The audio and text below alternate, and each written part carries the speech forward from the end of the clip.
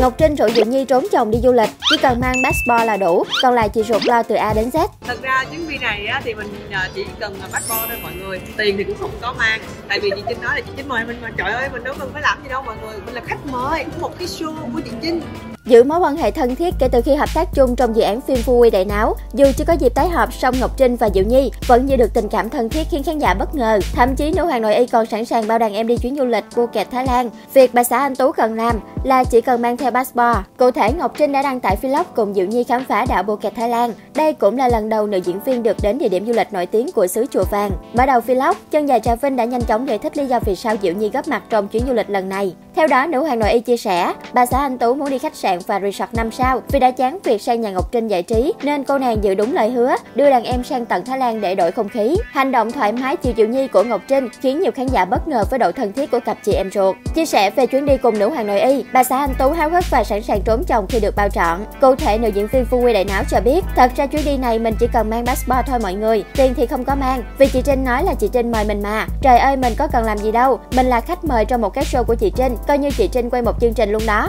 Bên cạnh đó, Diệu Nhi cũng tiết lộ, đây là lần đầu nữ diễn viên đi Phuket, trong khi đó Ngọc Trinh đã đến địa điểm này khá nhiều nên đây là trải nghiệm đáng nhớ của hai chị em. Bên cạnh việc được bồi dưỡng tình cảm, hai sao nữ này còn có bộ ảnh đôi đáng nhớ tại xứ sở chùa vàng, khiến khán giả thêm phần ngưỡng mộ cặp chị em tài sắc vẹn toàn. Được biết trước năm 2018, cặp chị em Ngọc Trinh Diệu Nhi gặp nhau vài lần khi tham dự các chương trình truyền hình thực tế, nhưng khi đó mối quan hệ chỉ dừng lại ở mức xã giao. Đến khi cả hai cùng nhau hợp tác cho dự án phim Phu Quy Đại Náo, cả hai mới thật sự trở thành những người chị em bạn bè thân thiết ngoài đời. Các fan nhận xét cặp chị em này đều có chung tính cách hài hước, chân thật và không phụ lợi. Ngọc Trinh và Diệu Nhi đều là những người sống vì gia đình, kiếm được tiền sẽ về lo cho ba mẹ đầu tiên. Diễn viên chính x từng cho biết, chị Trinh hay cho tôi lời khuyên khi tôi đang gồng gánh kinh tế gia đình. Chị bảo tôi phải biết yêu thương bản thân mình hơn. Tôi thích giày nhưng không mua vì thấy không cần thiết. Thế là chị Trinh tặng cho tôi, chẳng nhân dịp gì cả. Diệu Nhi và Ngọc Trinh không chỉ có tình bạn mà còn hơn thế nữa. Cả hai chơi với nhau xuất phát từ sở thích, tính cách hòa hợp và hơn hết là sự chân thành. Mọi thứ tình cảm đều sẽ trở thành dị phản nếu như không có sự tôn trọng và tin tưởng nhau. Hay một người luôn hết lòng còn người kia thì hời hợt xem nhẹ.